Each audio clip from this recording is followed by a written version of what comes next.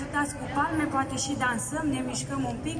Mulțumesc frumos și să vă simțiți bine la spectacol!